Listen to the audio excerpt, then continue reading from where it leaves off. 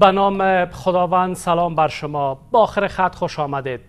ادامه واکنش ها به نشست قریب الوقوع دوحه آیا تغییر در راه است؟ قرار است نشست دوحه به روزهای دوشنبه و سه شنبه هفته آینده در قطر برگزار شود. در این نشست روی وضعیت افغانستان رایزنی خواهد شد. حالا سخنگوی سازمان ملل می‌گوید به مقامهای حکومت سرپرست دعوتنامه فرستاده نشده و قرار نیست که نماینده از طالبان در این نشست حضور یابد. او تاکید کرده است که مسئله به رسمیت شناخته شدن طالبان نیز روی میز قرار ندارد. اما در سوی دیگر عبدالسلام حنفی معاون رئیس وزیران حکومت سرپرست خواستار در نظر گرفتن دستاوردهای امارت اسلامی در تصمیم گیری های نشست دوحه شده است. حالا پرسش اینجاست که دعوت نشدن از امارت اسلامی به چی معناست؟ برگزاری این نشست برای مردم افغانستان چه اهمیت دارد؟ برگزاری این نشست آیا وضعیت را تغییر می دهد؟ در نهایت چه تصمیمی در مورد حکومت سرپرست گرفته خواهد شد؟ این پرسش ها را از مهمانان شریک در بحث می پرسم مهمانانمان در این برنامه هر یک آقای مهدی افزلی استاد دانشگاه از طریق خط اسکایپ آقای محمد یاسین حبیب رئیس حزب بیداری ملی و فلاح افغانستان و همچنان آقای مفتی محمد قاسم آگاه مسائل سیاسی نیز وعده کردند که در این بحث با ما شریک خواهند شد. سلام مهمانان عزیز تشکر که به برنامه حضور یافتین. می‌خوام در نخست از آقای افزلی بپرسم که نشست دعوت نشدن اعضای امارت اسلامی و بخصوص مقام های حکومت سرپرست در این نشست به چی معنی است؟ سلام و عرض ادب خدمت شما همکاران شریک در بحث مردم افغانستان فکر می‌کنم که چند تا مقوله است که در برگزاری نشست قطر تاثیر گذاشته بحث اول است که در حواشی افغانستان نشست های متعدد پیرامون افغانستان از طرف کشورهای مثل روسیه، هند، چین و در بسا موارد ایران و پاکستان و هندوستان برگزار شد و این نشست ها که در حواشی افغانستان برگزار میشه فکر می‌کنم یک الترناتیف است برای ناتو برای اروپایی ها برای آمریکا در افغانستان.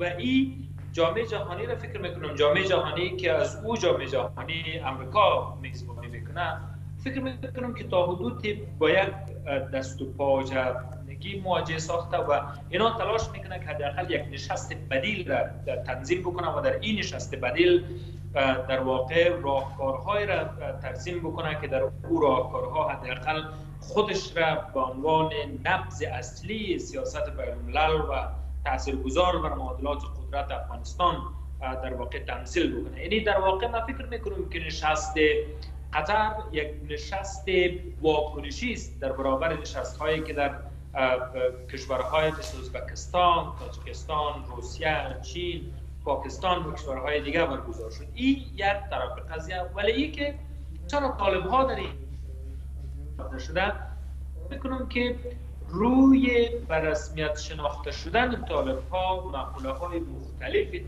گذار بوده. بحث اول است که رفتار طالب ها یک رفتار در واقع باثبات نیست. یعنی تصامیمی که طالب ها می‌گیرن برخوردهایی که در قبال شهروندان افغانستان و مطالبات مردم افغانستان داره فکر می‌کنم که تصامیم به نهایت متاسفانه بر اساس دیدگاه بسیار سنتی و دیدگاه بسیار پیش افتاده تنظیم میشه که مورد اقبال و مورد قبول جامعه جهانی قرار نمی‌گیره. چون مورد قبول جامعه جهانی و کار عمومی قرار نمی‌گیره به او خاطر طالب ها هم نتانسته که در نشست های بین او جایگاه و اعتبار را برای خود پیدا بکنه. بحث دوم هم بحث رقابت هاست بحث رقابت ها به این معنا که یعنی طالب تا فعلا خودش را نتانسته به عنوان یک قوه مستقل در داخل افغانستان تثبیت بکنه که این قوه مستقلی که مثل خمینی در ایران می‌گفت نه شرقی نه غربی نه جمهوری اسلامی به نحو یک به اصطلاح یک قوه نیست یا یک به اصطلاح پاور مسلح در افغانستان طالب نیست که معلوم باشه که گرایش به کدام طرف است آیا مستقلانه می‌خواد پیش بره یا وابستگی وجود داره. و خاطر از که در خیلی از موارد آمریکایی ها مشکل داره با رفتار طالب که در قبال چینایی هستند و روابطی که با چین تنظیم شده توسط برو با روسیه تنظیم شده. و و می پیمانه با ایران این برای کشورهای غربی فکر می‌کنم که یک سوال مهم و بنیادی است که در این شرایط چیکار می‌کنه. بحث دیگه هم فکر می‌کنم که خود طالب است. یعنی طالب از لحاظ رفتاری در واقع نتانسته اقناع به وجود بیاره در سطح جهانی تا به عنوان نماینده بدیل بر افغانستان مطرح شود. به خاطر از اینکه چیزی را که طالب ها انتظارش داره و چیزی را که جامعه جهانی و مردم افغانستان انتظار داره این دو تا در یک تناقض جدی است. به اون خاطر بازیگران بین‌المللی و بازیگران منطقه‌ای در قبال به رسمیت شناخته شدن طالب ها بله. آقای افزلی در نبود نماینده از امارت اسلامی چقدر می‌تونه این نشست مفیدتر و یا هم نشسته باشه که نتیجه را در پی داشته باشه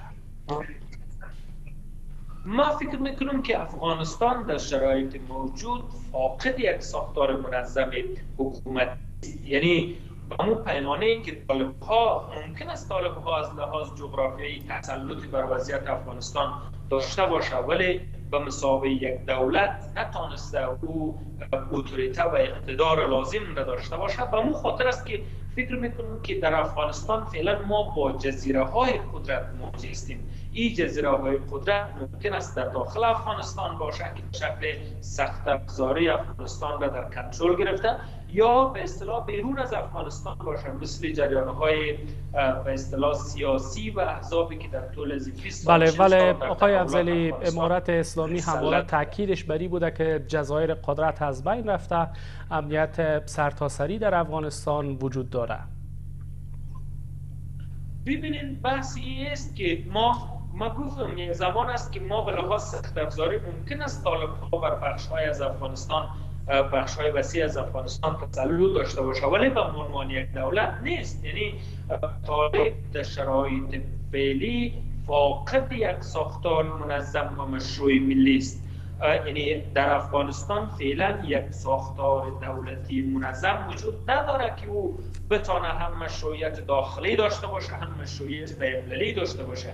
و مو خاطر است که جزیره های قدرت شکل گرفتن که این جزیره های قدرت در بسا موارد با حمایت های بین‌المللی مواجه است و این برای طالب ها یک دردسر عظیمی را به وجود میاره و مو خاطر است که نشست هایی که در ارتباط به افغانستان برگزار بشه بازیگران بین المللی هم نگاهش به شرایط موجود میسته بله تشکر آقای افزلی آقای حبیب آقای افزلی به این دیدگاه هست که یک ساختار منظم در افغانستان بخصوص در حکومت سرپرست امارت اسلامی وجود نداره و یک دولت منظم وجود نداره.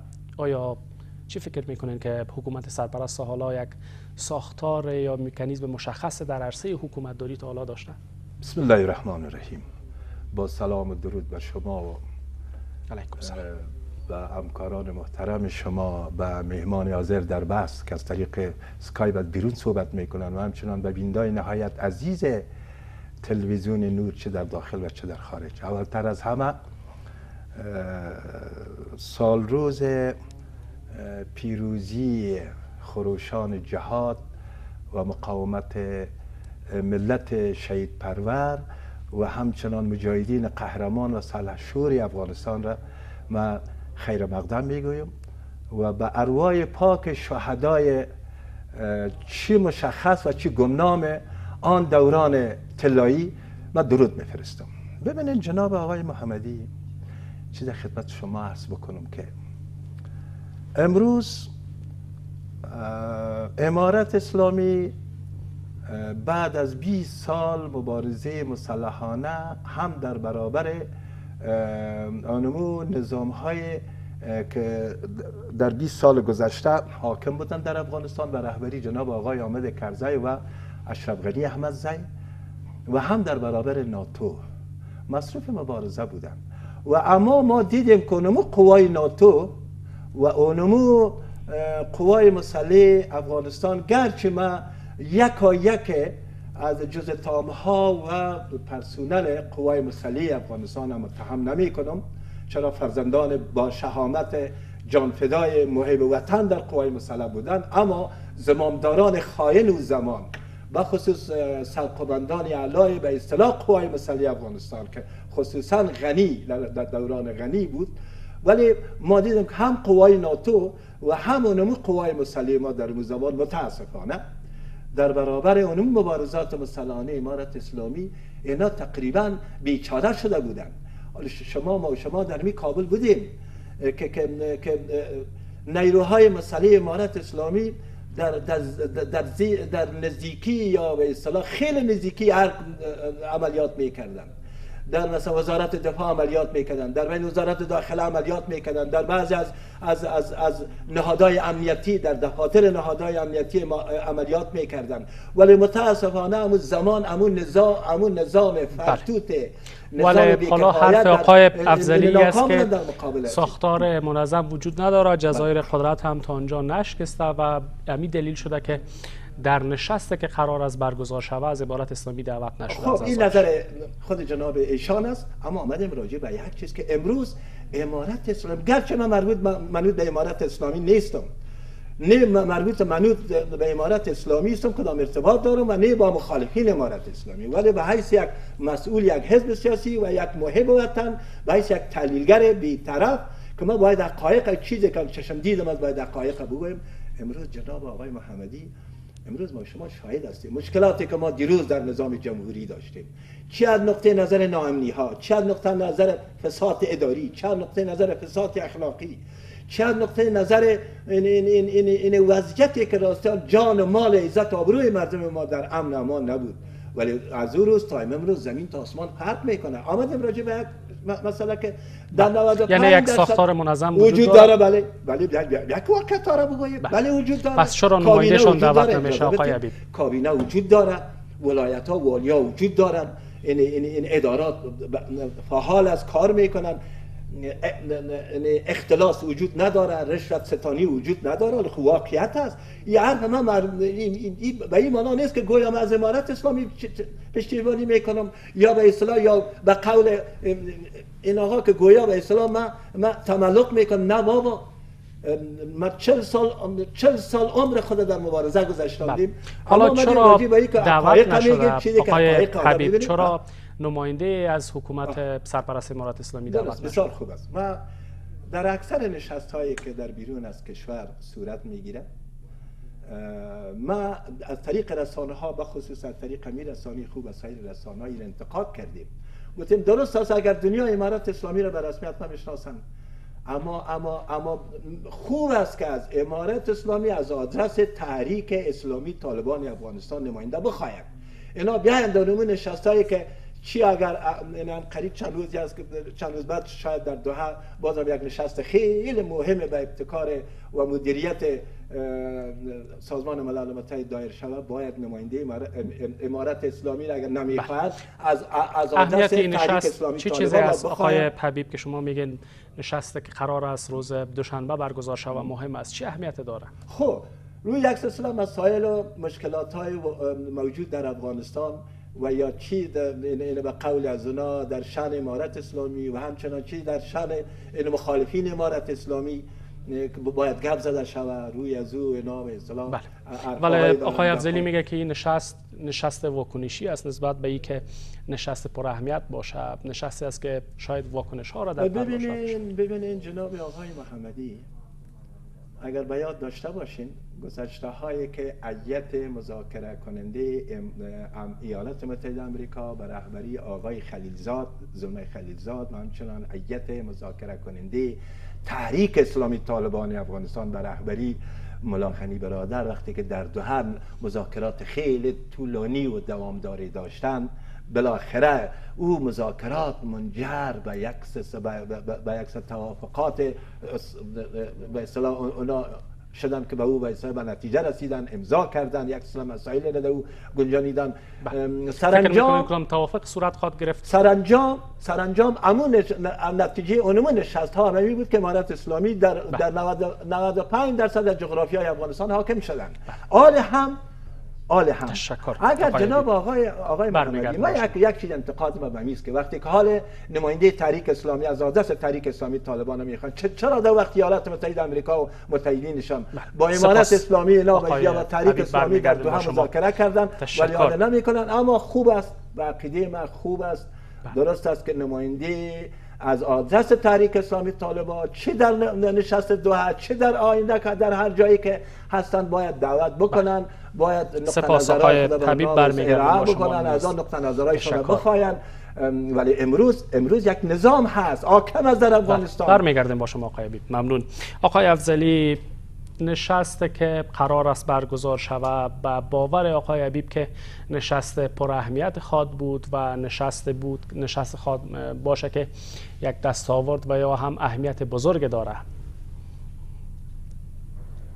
ما ما فکر می‌کنم که شرایطی که در نظام بین الملل حاکم شده متاسفانه افغانستان در شرایط بدی وارد اختلاف قدرت شد ما در این باید باید باور داشته باشیم که ما در یک جهان زندگی می‌کنیم که در اونجا یک نظم حاکم است به نام نظام بین الملل و در نظام بین الملل موجود قدرت های بزرگ با همدیگر دچار یک اختلاف شدید شده و این اختلاف شدید روی بازیگران منطقه‌ای روی بازیگران ضعیفی مثل افغانستان به نهایت تاثیرگذار است.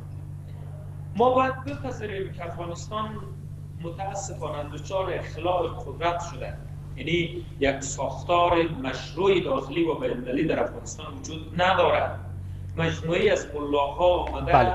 آقای افزلی ولی به باور آقای حبیب که نظام وجود داره در افغانستان و ساختار منظم است در چارچوب امارت اسلامی. ببینید در افغانستان یک ساختار وجود داره که این ساختار متاسفانه توسط مجموعه از ملاها اداره میشه و ما هیچ هویت و شناخت از رهبری و از قوانین مقررات و اصول موجود برای دولت اطلاعات نداریم.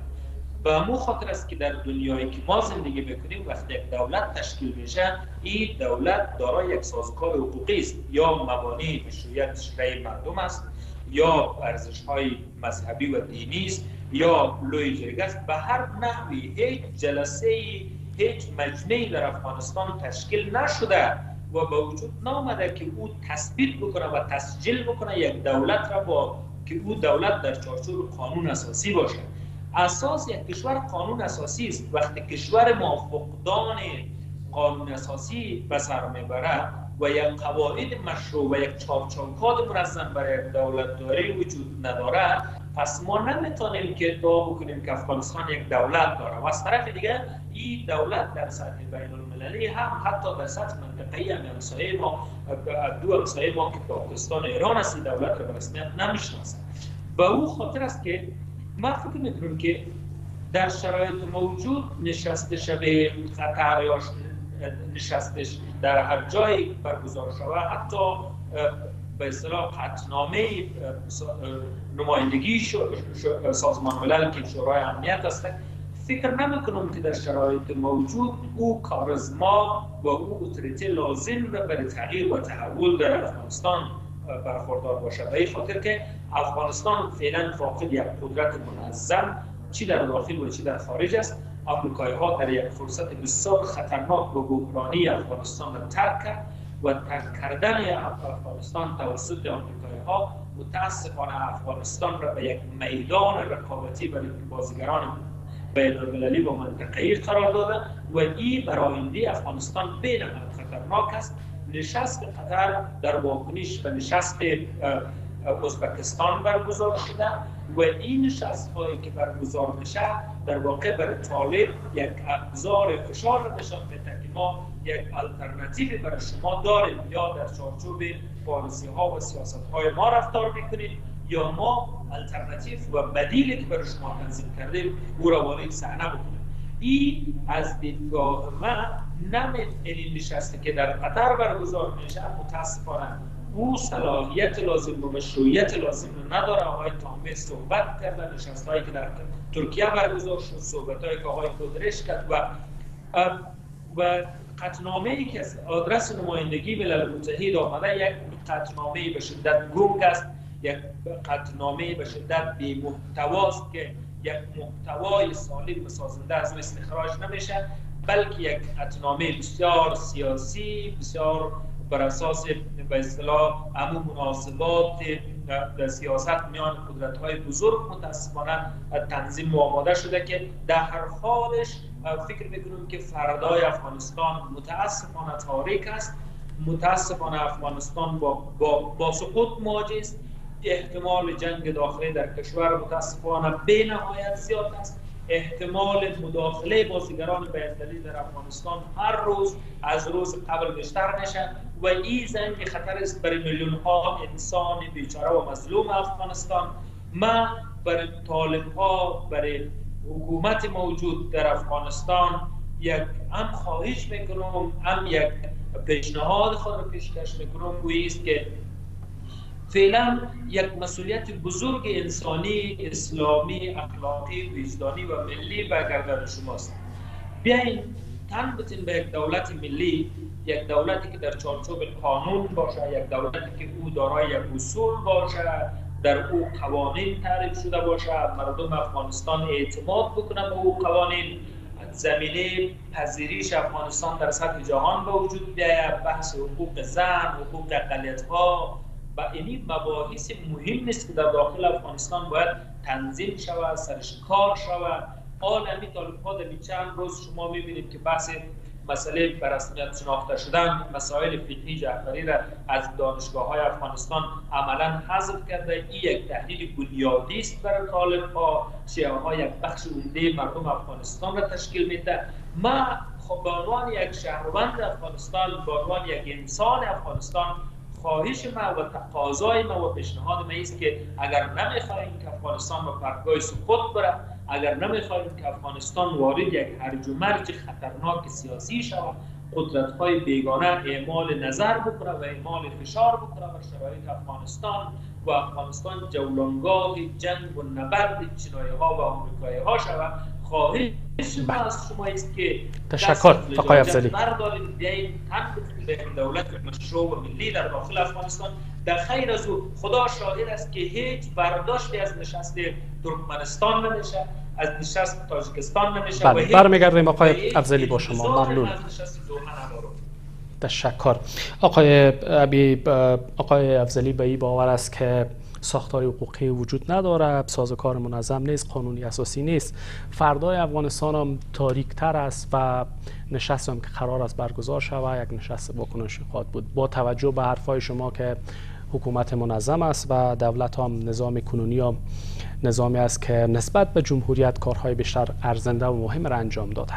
جناب آقای محمدی من امیدوارم که مثل آقای افضلی من موقع بیافم که صحبت های خود ادامه ده صحبت های من قطع نشه مختص نشه ببینین یک چیز در خدمت شما عرض بکنم که ما در امو نظام جمهوری هم همینجا بودیم. چی مشکلاتی را ملت ما مردم ما؟ چی نابسامانی های در کشور ما وجود داشت؟ چه وضعیتی در افغانستان وجود داشت؟ ما شاهد بودیم. اگر اگر قرار بود که گویا قانون اساسی وجود داشت کی به قانون اساسی اطاعت داشت؟ کی قانون اساسی را محترم شمارید. کی مطابق فرامین قانون اساسی اگر وکیلای ما بودن اگر وزیرای ما بودن اگر والیای ما بودن کی به اصطلاح اگر اگر سناتورای ما بودن کی به قانون اساسی افغانستان پابند بودن؟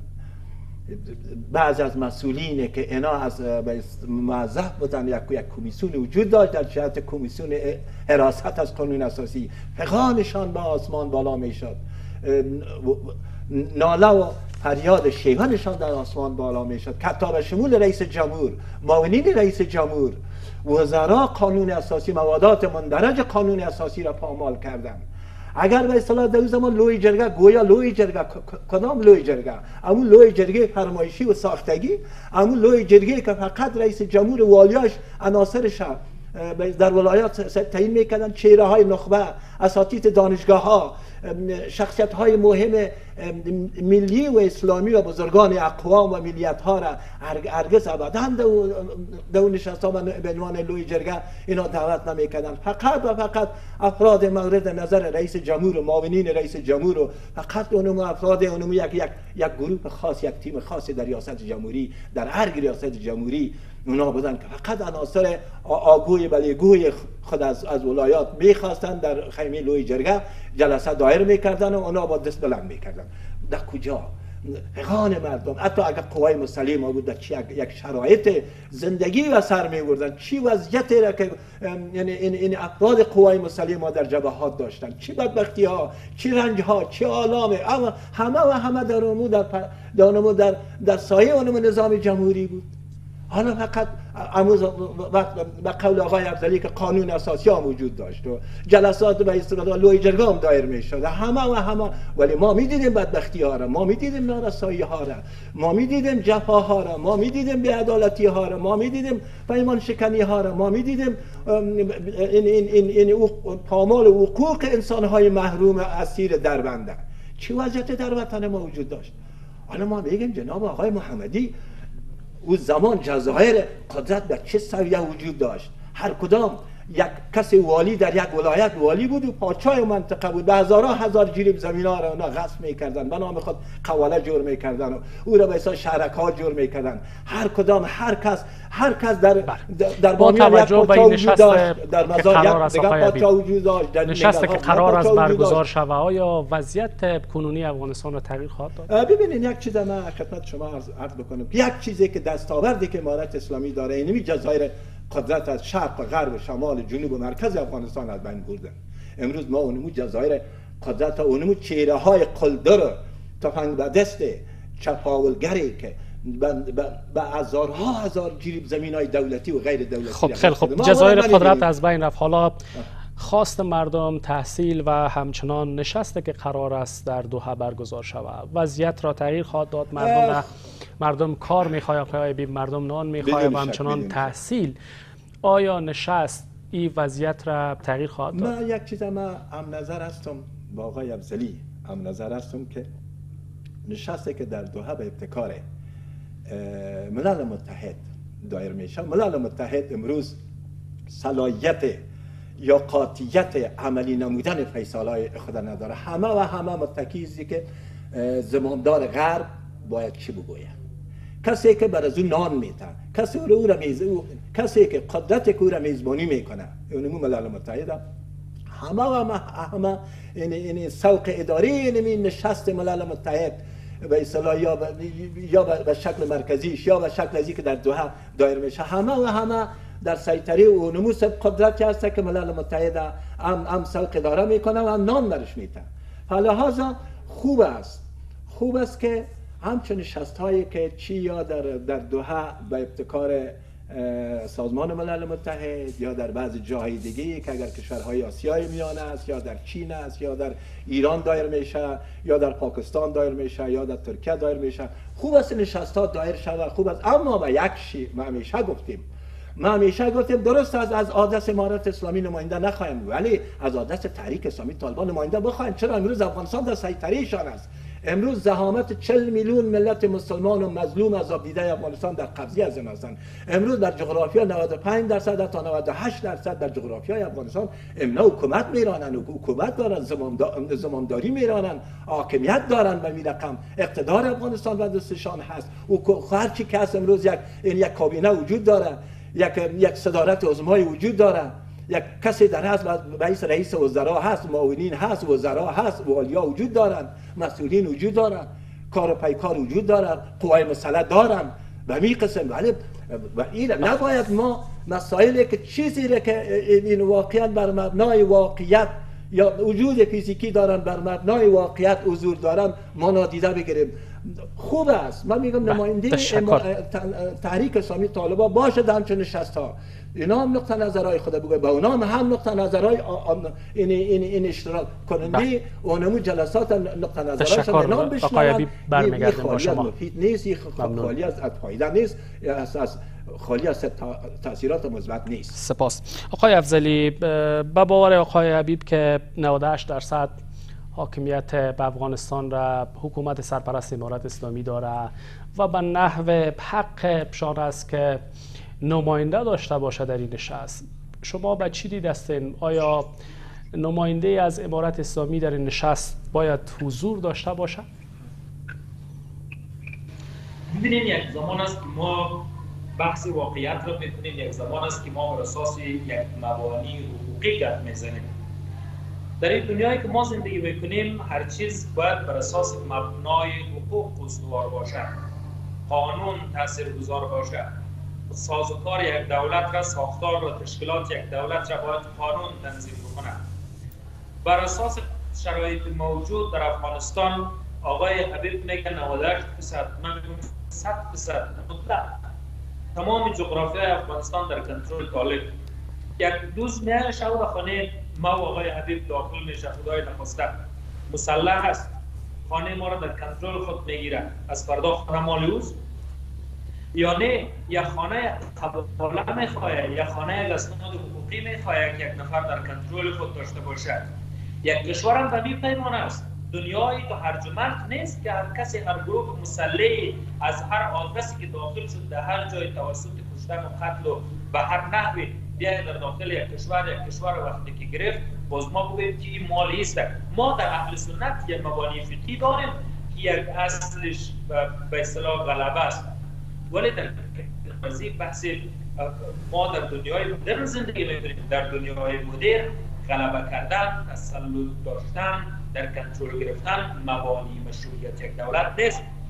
یک دولت باید در چارچوب قانون تعریف شود. وقتی که ما میگیم که دولت افغانستان حکومت موجود در افغانستان حکومت مشروع نیست. هرچند که ما باید بحث ما روی نشست دو هم متمرکز بشه باشه حال متاسفانه رفتیم. به طرف بحث دولت دولت در افغانستان. این دولت در داخل با بحران حقوقی مواجه است.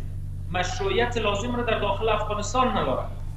در سطح بین المللی مشروعیت نداره به خاطر از اینکه توسط جامعه جهانی به رسمیت شناخته نشده. پس یک دولتی که در داخل مشروعیت حقوقی مردمی نداره در سطح بین الملل مشروعیت بین المللی نداره توسط جامعه جهانی به رسمیت شناخته پس در این یک حکومت در این یک شرایط ما به چی پیمانه و بر اساس کدام ادله گفته می‌تونیم که به اصطلاح این دولت دولت مشروع است؟ و از طرف دیگه فکر می‌کنم که مشروعیت دولت ها در خیلی از مورد در سطح نظام بین الملل متوجه بله. بازی های جهانی است. افغانستان فعلا فکر می‌کنم که در یک خلا قرار دارد. خیلی خوب. آقای افزلی با توجه به ای که واکنش های را نیز در پی داشته این نشست. گویا که قرار است به رسمیت شناخته شود یا بحث به رسمیت شناخته شدن در این نشست مطرح شود. چی فکر می‌کنین که نتیجه این نشست و بخصوص در باب مشروعیت جهانی آیا بحث و رایزنی خواهد شد؟ آمریکایی ها در این نشست با مشروعیت بین آمده آقای گوترش داره با خود. ملل متحد قدش هست و رقبای طالب را در ترکیه و جاهای دیگر قدش ملاقات کرده و در این نشست فکر می‌کنم دو تا پیام رو مخابره می‌کنم مخابره اولش برای کشورهای همسایه افغانستان است. کشورهایی که در ازبکستان جلسه برگزار کردن. بر از ما پیام خواهد دادن که یعنی ما هستیم و می‌تونیم همچنان تاثیر بگذاریم با ابزارهای مهم حقوقی بین المللی این یک گپ. دوم مخابرش برای طالب است و برای طالب در این نشست فکر می‌کنم که یک بحث تحت عنوان بحث یا به اصطلاح صحبت روی مشروعیت طالب باید روی دست گرفته شود در سازمان ملل و در مجالس دیگه به المللی سر از این کار شود. یعنی از یک طرف هم واکنشی برای طالب است هم واکنشی برای کشورهای همسایه افغانستان. ولی من فکر نمی کنم که در این نشست بحث بر رسمیت شناخته شدن طالب مطرح شود به خاطر از اینکه این نشست یک نشست آمریکایی است ظاهرا یعنی یک نشست است که در او بسیاری از بازیگران منطقه‌ای وجود ندارد و اگر طالب در این نشست یا در نشست های شبیهی که او با همگرایی آمریکایی بله.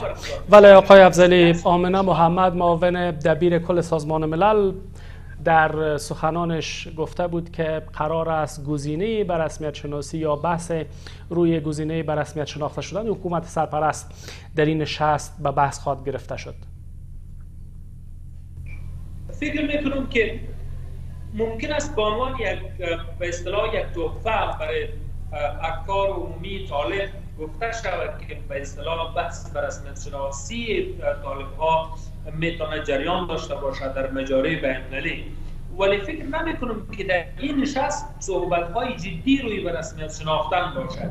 در این نشست فکر می کنم بیشتر پیام بر طالبان خواهد دادن و در ارتباط به بحث حقوق زن در ارتباط با بحث های دیگر در ارتباط به شکلگیری یک دولت همشمول در افغانستان بحث حقوق انسان ها روی از این موارد فکر می‌کنم که یگان تسامل به اصطلاح جدیتر از سوی آمریکایی ها و از سوی ملل متحد اتخاذ خواهد شد که او هم یک صحبت ها و بله. به اصطلاح زنه های مقدماتی می‌تونه باشد.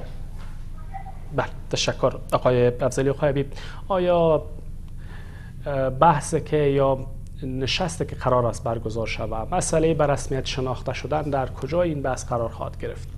ببینید جناب آقای محمدی من قبل از اینکه سوال شما ما پاسخ یک موضوع رو می‌خوایم یادآوری بکنم که آیا زعامت های دوران نظام جمهوریت یا جمهوریت در افغانستان آیا بر مبنای اولویت های حقوقی و اونا به وجود آمده بودن؟ و یا اینکه به اساس جعل و فریب و تقلب و مهندسی شدنا به به وجود آمدن؟ چی به اصطلاح انتخاب رئیس جمهور چی انتخاب اعضای پارلمان؟ و چی هم انتخاب وکلای ولایتی. همه و همه در نتیجه جل و تقلب و مهندسی شدنا و این, این, این, این, این, این, این یک ترفنه ها بودن. که هم مبنای حقوقی نداشتن. ولی ولی 20 سال حکومت کردن. چی جفاهایی که به حق از این ملت مظلوم نکردن. آمدیم در قسمت مسئله از که اگر این جلسه در دوحه بر دایر میشه که میشه این مسئله را ملل متحد ایران مدیریت می‌کنن. آقای محمدی شما مطمئن باشید من پیشتر یک اشاره کردم. وقتی که وقتی که های از دو طرف تعیین میشن. ولی یک چیز نباید نادیده بگیریم. نباید نادیده بگیریم. نباید او ما او را به اصطلاح بالاش خاک بگذاریم یا بالاش سرپوش بگذاریم که تحریک اسلامی طالبان افغانستان در طول 20 سال مبارزات مسلحانه خود نتانست هم اطلاف بینالی که قبلا در رأس ایالات متحده امریکا و همکاری و اشتراک چندین کشورهای نیرومند و شمول بعض کشورهای اروپایی آمدن و اینا را نتانستن تارمار بکنن. و اینجا قوای مسلمه هم گرچه میگم فرزندای موجود در قوای مسلمه فرزندای دلیر با شامت قهرمانان مبارزین راستین بودن مبارزین محیب وطن بودن ولی ولی مسئولینشان ولی آکمانشان خاین وطن فروش غدار بودن. فقط هدفشان چور چپاول بود و غارت دارایی های قوای مسلح بود. دست خلاص دیگر کدام هدفی نداشتم و میرقم ولی علمو امارت اسلامی یا تحریک تحریک تحریک اسلامی طالبان افغان با یک کلاشینکوف یا آر پی جی هفت اینا تانستن هم در برابر قوای ناتو مبارزه می‌کردن و, و, و نتانستن هم قوای ناتو کنار بگیرن و به اصطلاح مهار بکنن و هم قوای مسلمه مبارزه بله. کردن از طریق مبارزات مسلحانه اینا و پیروزی رسیدن قدرت گرفتن. حرف آقای عبیب خواست ورزش های مردم افغانستان تحصیل کار و چنان یک ساختار حقوقی که مثلا انتخابات و یک مشروعیت داخلی بله. خواست مردم افغانستان است بله این خواست مردم افغانستان چقدر تا حالا جدی گرفته شده بله. و سازمان بله. ملل در راستا بله. چه تصمیم می‌خواد گرفت جناب آقای محمدی خواست و آرزوها و ارزش های ملی و اسلامی مردم افغانستان در زمان نظام جمهوریت هم پامال بود در زمان نظام جمهوریت هم ملت ما محروم و مظلوم بودن. در زمان نظام جمهوریت هم ملت ما پامال قلدران از خدا بیخبر تفنگ به دست کوردلان چپاولگره که به اصطلاح فقط در عریم بله. قدرت اینا حاکم بودن. اما تا پامال بود. اما بله. که جمهوریت به تاریخ پیوست آقای حبیب. خب. حالا چی باید شود؟ طی دو سال حکومت سرپرست حکومت سرپرست که بود چگونه تحلیل می‌کنن که چه ها داشته؟ چه خبر خدمت کرده به مردم افغانستان؟ جناب آقای محمدی همیشه در رسانه ها گفتیم که باید امارت اسلامی رهبرای محترم امارت اسلامی چیزی را که در قرآن عظیم و حدیث نبوی آمده به او, به او ملقات باشد. مثلا ادامه تحصیل تحصیل برای مرد زن. تحصیل برای دختران این سرزمین.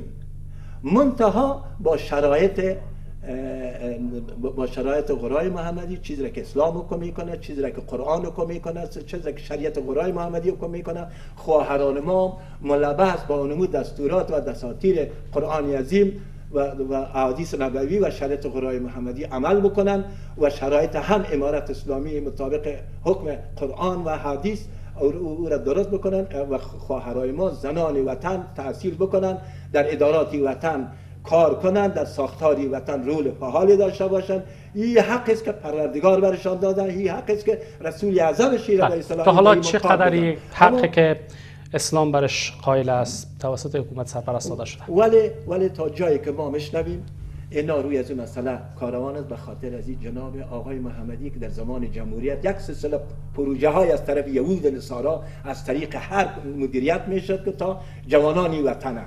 دختران و پسرانی وطن به طرف فحشا و به طرف فساد اخلاقی بکشند همین قسم که فساد اداری در ادارات افغانستان واقعا بیداد می‌کرد. این, این, این آتش به کشار فلحت می‌رسید. همین قسم به فساد اخلاقی هم این, این یهود نصارا از طریق حرک از طریق زمامدار حرب و زمامداران حرب می‌خواستن که اولادی وطن به طرف فساد اخلاقی بکشانن. اما اینا سعی میورزن تا اونمو بله. تشکر آقای برمیگردیم با شما. پروژه ها را اثرات اونمو کارها را اینا مهار کنن با طرح میکانیزمایی که اینا وزارت معارف و وزارت تحصیلات عالی او را روی دست دارن سر از او کاروان می‌خواهند که با تکمیل اونمو اونمو برنامه ها دفاتر اداره دفاتر مکا... در...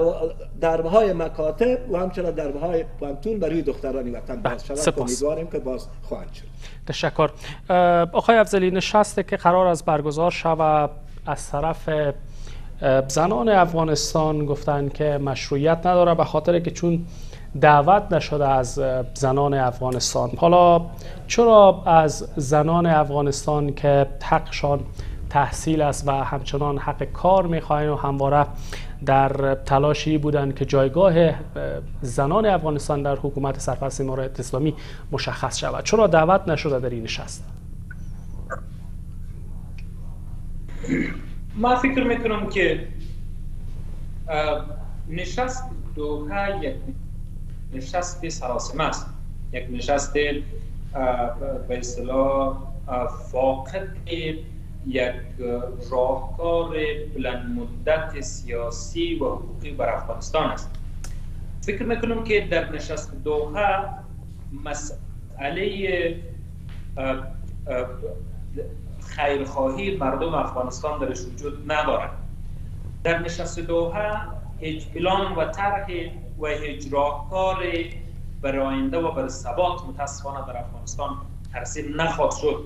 و وجود ندارد به خاطر از اینکه کسانی که در اون نشست شرکت می‌کنن و برگزار کنندگان اون نشست نیت شومی در قبال مردم افغانستان دارد.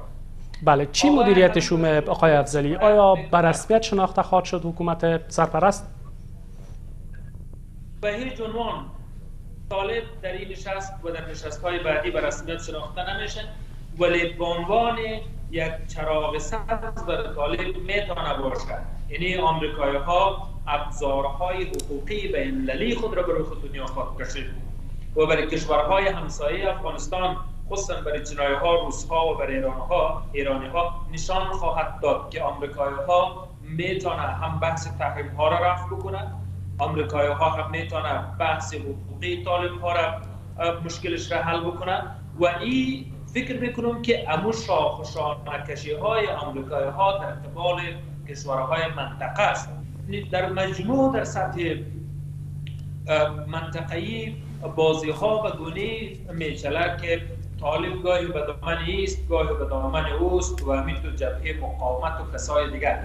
در این قربانی مردم افغانستان است. ما و آقای حبیب هم جون خود به اصطلاح گفتی قوای هزاری ما جون خود لنگان لنگان به یک سمت میکشونیم توسط می یگان میتینگا و میزگیردا و توسط می صحبت ها ولی واقعیت هم بیست که یک پنجاه فیصد قشر افغانستان که او خانم هاست بود تباه شد.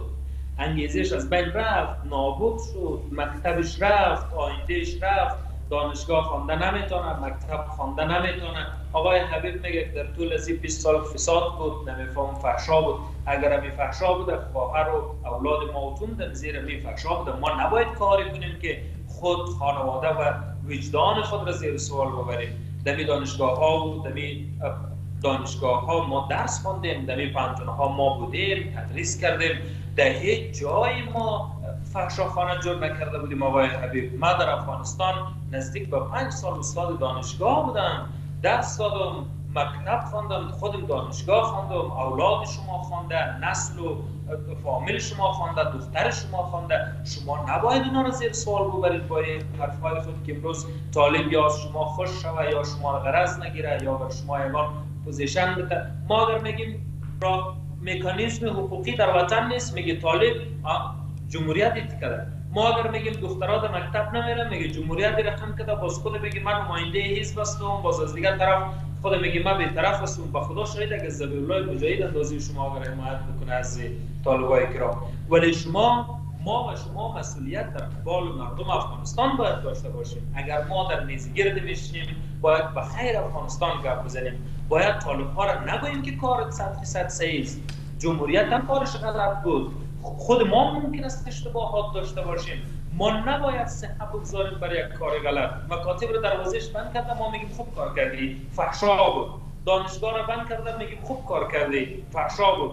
نمایندگی های بین‌المللی در افغانستان بسته شده میره به دلیل عدم حضور خانم ها ما میگیم خوب می‌کنی خانه پدر تاباد که فحشا بود نمیفهم منکرات بود. حال بریم در پیش طالب اصلاح شویم یک رو مطرح بکنیم. طالب در یک گوشه خوب است. جریان های دیگه هم خوب بود. جمهوریت هم خوبی های خود داشت نقاط ضعف خود داشت. انسان های با وجدان و با با غیرت هم در داخل جمهوریت بودن. خدا شاهد است که تشکر آقای افضلی بلندترین position ها ما می‌شناسم که کارهای ما بودن. خدا شاهد است در روز جمعه نماز جمعه بله. میخواندن. در روز جمعه اینا سپاس. برمیگردیم با شما آقای افضلی آغشته نیست ما نباید تمام اصول و تمام ارزش های یک ملت را که در طول 20 سال با خون صدها هزاران بله. انسان به دست آمده او رو ما تشکر.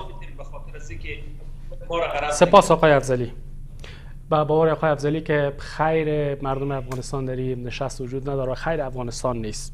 جناب آقای افزلی خال و حرفای خود زد. آل توهین و تحقیر و امرا با حرفای چرت و پرت خود گفتن ولی ولی ولی آقای افزلی باید بفهمم من مثل آقای افزلی ولی به نفع یک, یک, یک استخبارات یک کشور بیگانه مداهی نمی کنم سفسست گویی نمی کنم کشور منافع کشور فدای امیال آرمان یک استخبارات یک کشور مغرض همسایه من نمی سازم مثل که در بحث گذشته ما جناب آقای افزلی یک یک سخنگوی غیر رسمی یا رسمی یا یا با مز یا مز استخبارات کشور همسایه بود که چنان حرف می‌زد چنان حرف می‌زد که ما گفتیم شاید پاکستانی باشه. شاید یه از اونمو از اونمو پاکستانی ها یک یک قومی هست برادران اهل تشیع ما به نام توری.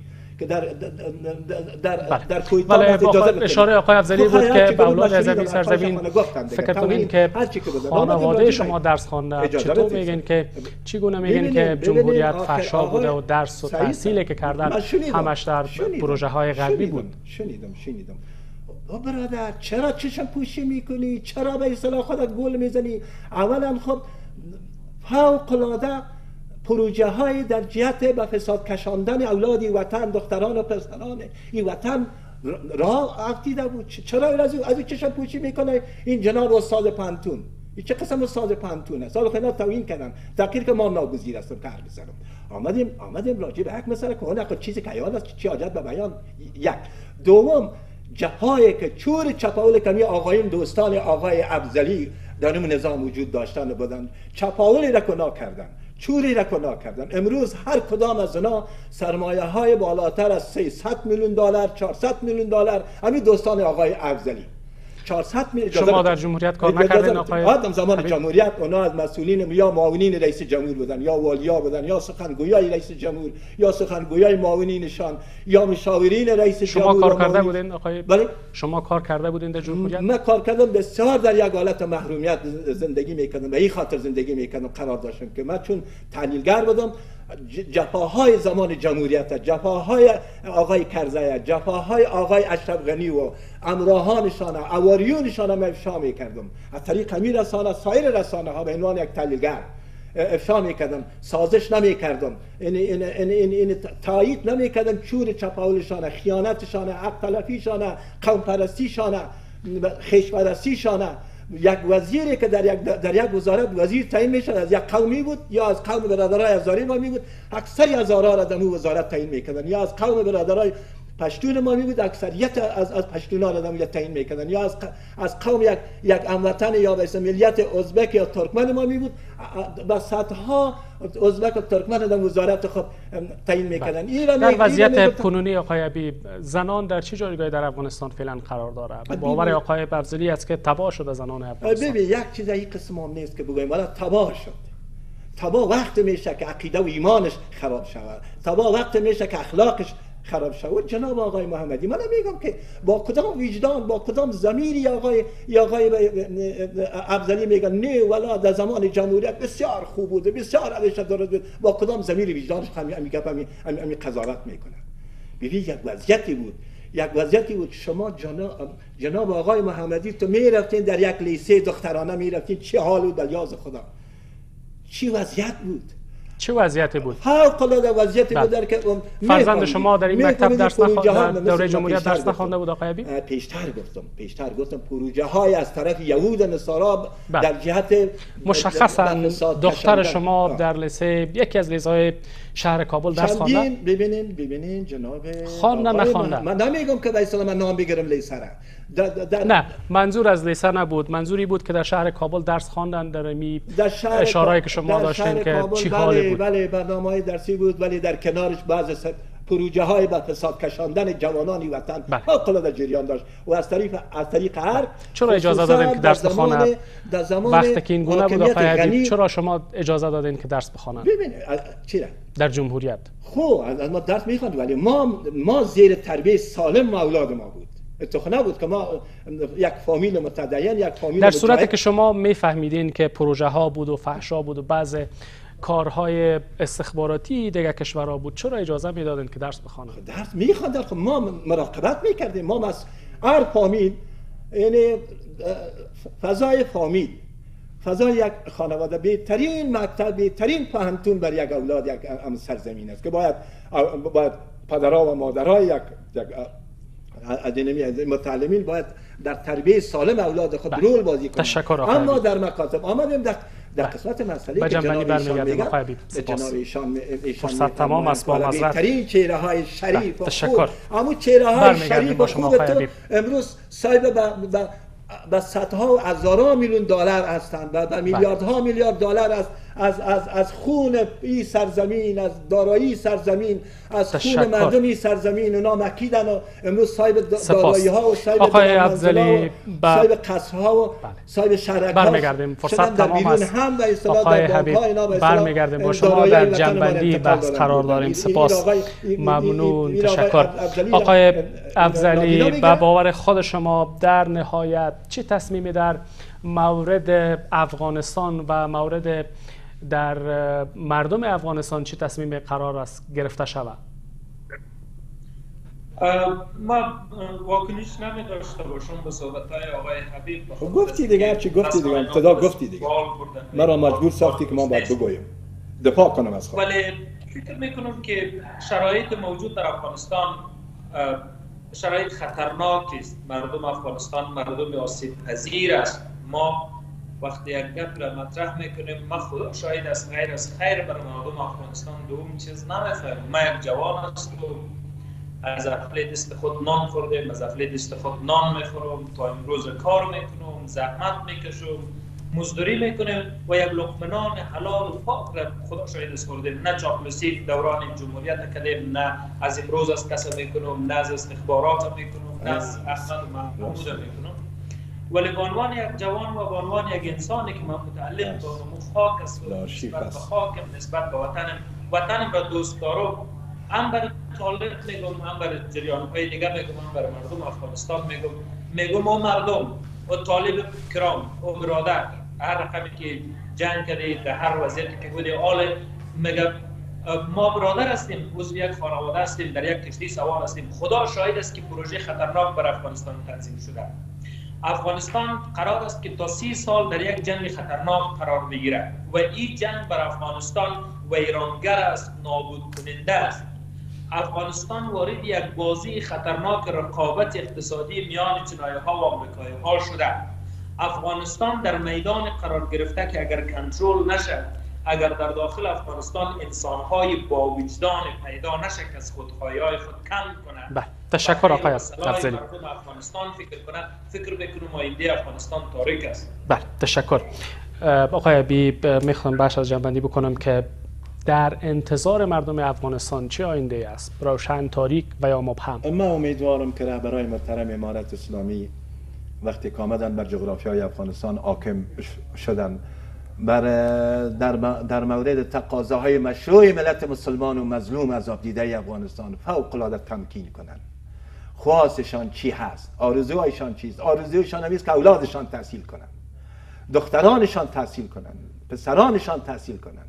خواست آرزویشان همیست که بزرگا و کادرا و رهبرای صادق و صالح خوشنام و خوش سابقه نه او خاینین ملی چپالگرانی که در 20 سال گذشته چور کردن چپال کردن. معاونین رئیس جمهور بودن وزیرا بودن والیا بودن مشاورین بودن وکلا بودن سناتورا بودن. چور کردن چپال کردن. نه اونا نه. فقط دیگه چهره هایی که در وطن ما در داخل هم کشور ما بهترین چهره های پاک خوب وجود دارن.